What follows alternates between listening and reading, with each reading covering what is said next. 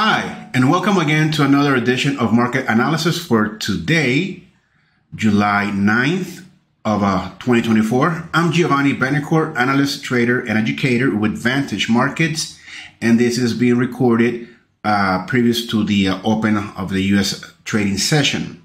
All right, before I get started, I also like to remind you that today I will be hosting a webinar uh, this webinar is going to be about how active traders approach and track the market. All right, we'll be looking at different, you know, things uh, from risk management to strategies to uh, you know, building consistent habits. So I'll leave the, the link on the description for the for the video. So keep that, um, you know, keep it in mind. All right, well, let's get started. You know Stocks are still on a remarkable run. For some, that's not great news. You know, it is what it is though. Both the S&P and the Nasdaq closed at new highs yesterday, refusing to buckle under a year of high interest rates. The Nikkei in Japan is also getting in on the action, closing at an all-time high today. Now, the Magnificent Seven stocks that drove a gains last year have bent this year, but are far from broken. Tesla, the biggest laggard, has advanced for nine straight days and erased all of 2024's losses. Apple also struggled for a while, but is now up 80% on the year. Nvidia looked like it might hit a soft patch, but has managed to steady the ship. That sounds nice, but don't forget that it's actually a very hard time to be a stock picker. The narrow breadth of the increases means that unless you pick the big tech stocks responsible for all the gains, you're very unlikely to have been in the market lately.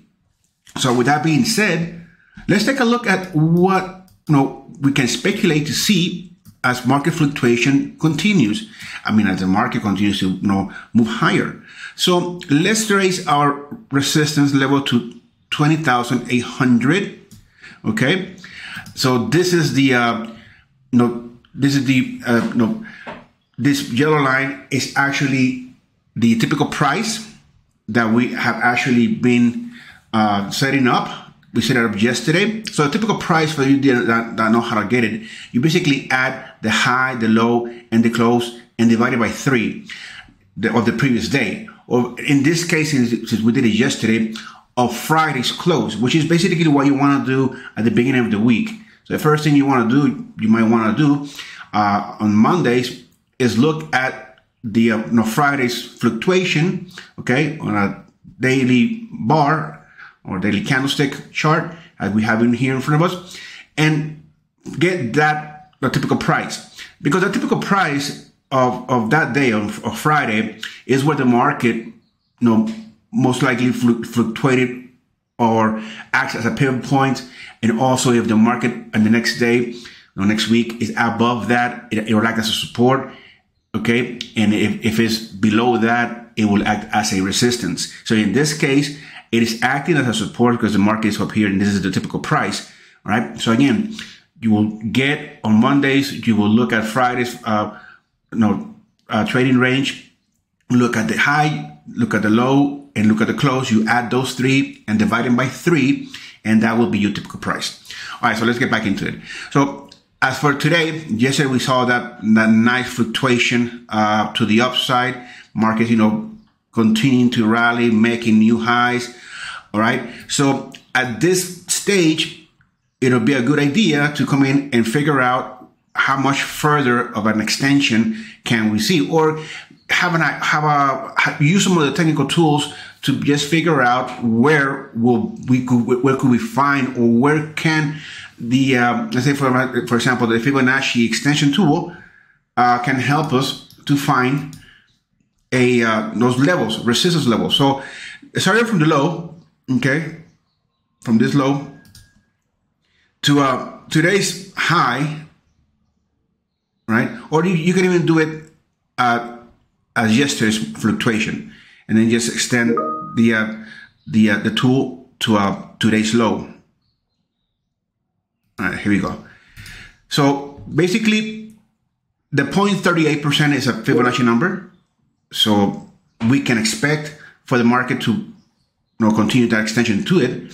Now the, the golden ratio is the point one, the 0.618 over here. So, which is basically the 74 points above where we have placed our resistance for today. So basically, uh, we are in that range. Again, this is all new territory, so we don't have any previous levels of resistance to uh, for us to fall back on. Right, so keep that in mind.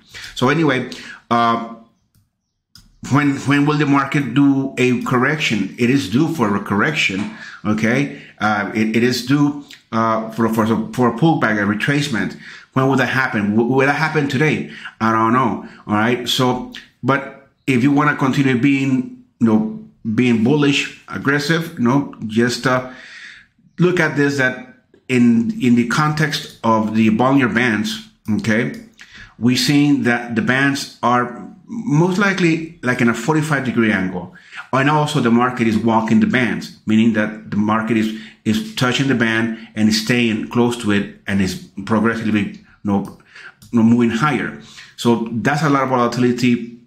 So right now, uh, we could expect, you know, some sort of, of a continuation or perhaps also a pullback. So let's go, since we are in new territory, again, anything from here on is, you know, new. So as the market opens, we could probably come back and, re- and revisit uh, the high uh, during the uh, New the uh, London session. Okay, so moving, looking towards the twenty thousand eight hundred. Now, if we do happen to have a pullback and retracement, then we could use a typical typical price as our target. Okay, and I have my my support right below it. All right, so keep that in mind. Keep that in mind. That's for the Nasdaq. Uh, let's take a look at the uh, S&P 500. So the S&P 500, when it loads, there it goes. All right, so the S&P 500, I didn't do the uh, typical price for the S&P 500. Uh, I, I, had left it for for just for for the educational purpose for the Nasdaq. But anyhow, we're looking also. Uh, I have placed that 5,640 as a resistance level. Okay. And we're also moving higher. So we're moving higher. So I'm just to leave my resistance there because we really didn't uh, violate it. We, we didn't even come close to it. The higher is 5,639. We no, very shy. We kissed it. Uh, but initially, I still think that, uh, you know, it, it still has some, some more, you know, more room to move higher. So let's see. So being cautiously, cautiously bullish with it. Be aggressive, be careful. Then we have the Dow yesterday, it did fluctuate above towards the 40,000 and then quickly retreated and it closed again in this flattish, flattish, uh, notion. I mean, the Dow is not in sync with its peers at all. Okay. Uh, but it, it has had, has received volatility right? So keep that in mind. Uh, you know, this is also you know very very low volume as you can see here, very low volume. So again, the Dow is acting uh, as its own you know with its own mind. So anything you know you got, I, I wouldn't be trading it. Basically, I mean, you, you could have made money here okay boom because it, you know it skyrocketed it, it, this, this is also like a nice setup almost for a for a breakout because you know equally highs equally lows Okay. So like, anything could happen. So I, I wouldn't be trading because again, you could get burned. You could be in the wrong side or you could be in the right side of the, of the trade. You never know. Now, crude oil, uh, it opened up with the gap down on Monday and it continued to, uh, to move lower.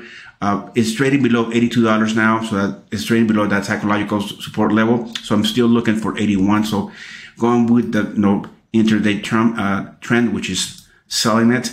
Now, Nat Gas yesterday had placed the 240 uh, marker uh, target for it. It rebounded off the uh, 220, it, which in this scenario, it also opened with a strong gap down. Okay. But anyhow, uh, continue being in the right direction of you know, buying it for, for right now. Gold was the one that gave, uh, gave me um, a completely different story. I, I, I was anticipating for it to continue to move higher, but actually just uh, traded lower. It broke that support level that I had there. So I'm to have to bring that puppy down and I'm to bring it down to right about here. Okay. 2340, right around there. Okay. So let's see what will happen with the gold. Uh, I'm going to bring down my resistance to 2390. This is the typical price. I did that this one for, for gold anyhow. So again, for gold, you know, you could go with the with the momentum that is, is building, you know, that is, is building to the downside. That could be uh, one way, but I, I won't be trading it. Then we have silver, silver, silver, silver. Come on, silver, right? Silver. So silver up yesterday. You know, it also had. You know, it opened up with a gap down and it continued to move to, to trend lower. Today, basically looking to stay within yesterday's range. So there's a lot of pressure uh, for, for, I think I'm I'm actually looking at this to be as a, a sideways market for today. Okay. Then we have copper. Copper may have a big different, a little bit different of a story. And when it loads, uh, come on, copper, there it goes, it loaded. So copper, actually not, I mean, it did, it has been uh, trending higher and it did a, a, sort of a little bit of a pullback retracement yesterday. And we had doji that this market actually kissed the upper Bollinger Band and it retraced. So I'm to bring down my level of support to right, right here. And I'm to look at this and say that perhaps the metals are having some, some tough time moving higher. So I'll be out of copper for, uh, for today, for now.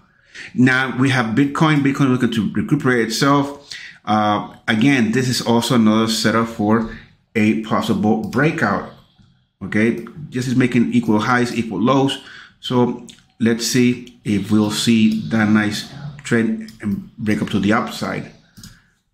I think it'll happen with Bitcoin. The currencies, the euro, let's see if, it, if it'll be able to sustain that momentum to the upside and, and stay above 108.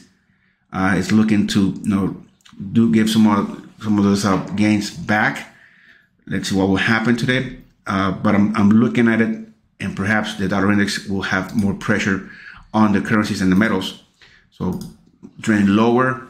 Then we have the pound, which is also looking to stay north of 127.80. I'm actually looking to stay to stay around 128. About that. So uh, again, I'm I'm thinking that it might be a, a shopping market today uh, for the currencies and the metals because the dollar index seems to be recuperating itself, having a more of a comeback after having plenty of days on the downside. Because yesterday the market did open with a gap up. So, I, so keep that in mind. Uh, since we have already been almost here, I'm gonna move this resistance to 105 and I'm gonna bring my support to this almost double bottom created here. So that's it. As we see that the dollar index continues to move higher, we'll see uh, more pressure on the currencies and the metals. So keep that in mind. Have a great trade day, and I'll hopefully I'll see you later on today. My webinar is today at 7 p.m. UK time. Ciao.